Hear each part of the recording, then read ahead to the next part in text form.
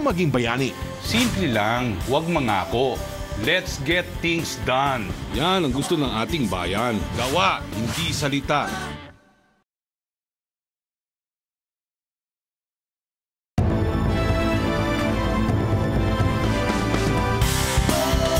Paano maging bayani? Simple lang, huwag mangako.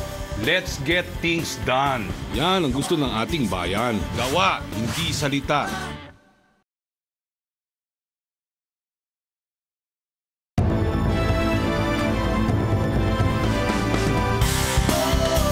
Paano maging bayani? Simple lang, huwag mangako. Let's get things done. Yan ang gusto ng ating bayan. Gawa, hindi salita.